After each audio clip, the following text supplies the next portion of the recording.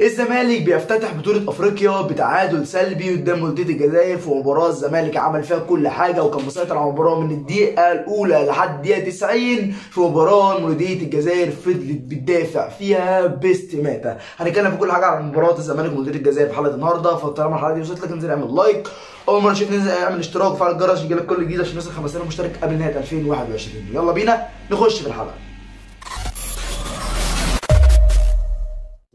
حطني رقم واحد في القصيم الزمالك النهارده بدأ بال 4 2 3 1 بدأ بأبو جبل قدامه محمود علاء ومحمود الونش على الشمال بيلعب عبد الله جمعة على اليمين بحازم إمام بيلعب بثنائي في نص الملعب فرجاني سيسي وطارق حامد قدامهم يوسف أوباما على الشمال بيلعب بزيزو على اليمين بيلعب إمام عاشور وبيلعب كمهاجم وحيد مروان حمدي. الزمالك كان بادئ المباراة هو الواضح والواضح جدا إن فريق مولودية الجزائر نازل يدافع في المباراة. كنا بنشوف فريق مولودية الجزائر بيلعب بخمسة أربعة واحد في الطريقة الدفاعية بتاعته.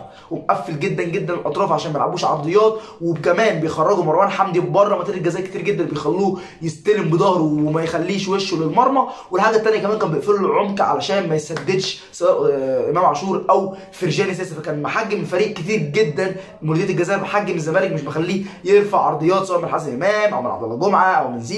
أو من أي حد بيعرف يرفع عرضيات. وحتى العرضيات لما كانت بتترفع كانت بتترفع من من لعيبة الزمالك. ما فيش مهاجم جوه منطقه الجزاء لأن مدافعين لعيبة ومدافعين مولودية الجزائر كانوا بيخرجوا مروان حمدي بره منطقه الجزاء فبالتالي العرضيات ما كانش ليها أي جدوى. والزمالك الناحية الثانية كان بيحاول هو ماسك كورة هو اللي مستحوذ هو اللي معاه كورة الكورة هو اللي معاه زمام المباراة. اللي يقدر يعلي الريتم يوطي الريتم. بس الفكرة هنا اللي هو ما عندوش حلول. مفيش اللاعب المهاري اللي يرقص واحد واثنين وثلاثه وأربعة ويخش يشوط. آه أوباما تحس النهارده تايه كتير قوي. بينزل بره بينزل لحد نص الملعب عشان يستلم الكورة. وحتى اللي بيستلم الكورة ما بيقدرش يلف بوشه ولو لف بوشه بيحاول يسند لاعب عشان يلف بوشه ويديها له تاني. فرجال السيسي كان بيحاول يفيد في الناحية الهجومية ولكن الزمالك أو باتشيكو كان بيحاول بكل استماتة إن هو يرفع عرضيات. فأنت العرضيات مش عارف ترفعها فكان المفروض يبقى فيه خطة بديلة. مروان حمدي من اللعيبة اللي إحنا مش هنحكم عليها من مباراة واحدة. مروان حمدي دي أول مباراة يبدأها كأساسي والمباراة الأولى اللي يبدأها كأساسي يبدأها في دوري أبطال أفريقيا ضد فريق بيدافع باستماتة. فأنت طبيعي مروان حمدي مش هيبان في مباراة زي دي. كنت محتاج مهاجم يخرج بره منطقة الجزاء ويسند على الم... ال... ال... يخلي يسند على الوينجات ويخليهم يخشوا منطقة الجزاء. وده شفناه مع حميد أحمد لما نزل الشوط الثاني ولكن كان عندي برضو شوية علامات استفهام. نوعا ما شوية. حازم إمام. بيلعب لحد دلوقتي ليه طالما انت مشتري المثلوسي دي حاجة. الحاجة الثانية ليه مقعد أشرف بن شرقي جنبك على الدكة؟ وبادئ إمام عاشور ك wing إمام عاشور هيدي لك حلول في نص الملعب سواء من تسديد أو مفتوح مساحات أو كذا فوق أو أو كذا حاجة. لكن ك wing مش مش مش هيديك أي حاجة. أي نعم إمام عاشور النهارده ما كانش سيء في الناحيه دي. كان سيء في ناحيه ال wing. ولما بدل مع زيزو وجاب زيزو ناحيه اليمين وراح ناحيه الشمال برده ما, ما ما ما كانش وحش.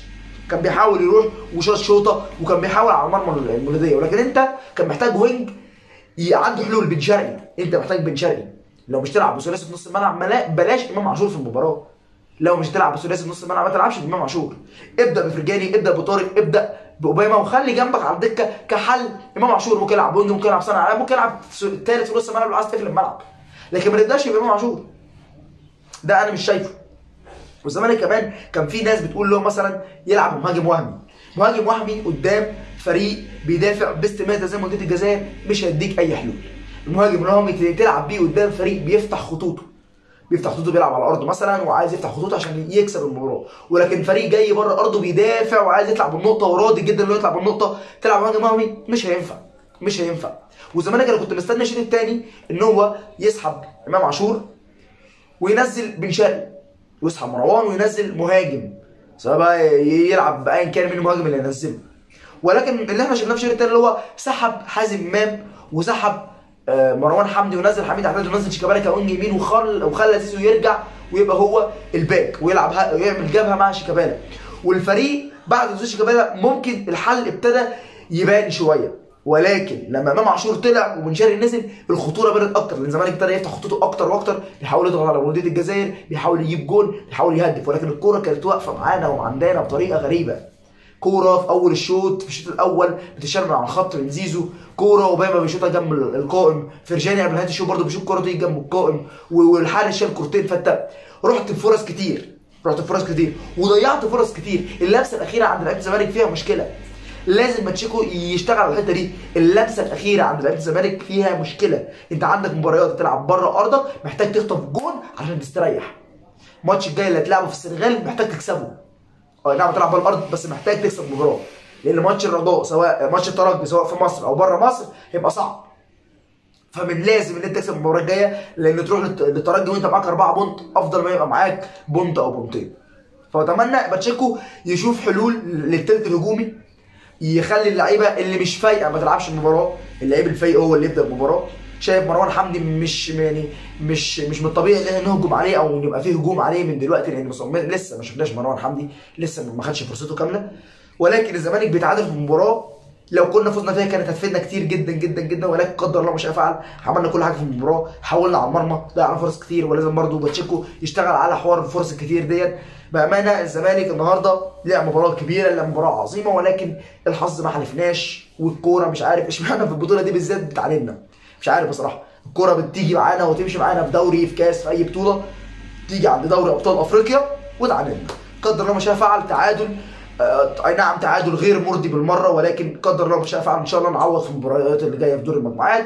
ولكن في الأول وفي الآخر ده كان رأي شخص واحد في مباراة الزمالك ومولوديه الجزائر. قول رأيك أنت في الكومنتس وقول لي كمان توقعك هل الزمالك قادر على الصعود من المجموعة وقول لي كمان لو الزمالك كسب المجموعة هيصعد أول ولا هيصعد تاني. وما تنساش تعمل like. لو الحلقة عجبتك ما تنساش كمان تعمل subscribe في القناه واشتراك. وفعل الجرس عشان يجيلك كل جديد عشان نوصل 5000 مشترك نهايه 2021 وتابعنا على ال social media بتاعتي في ال description تحت. فيسبوك وتويتر وإنستجرام ال description تحت. وأعمل share على فيسبوك retweet على تويتر كمان مصطفى اشوفك الحلقة الجاية. سلام.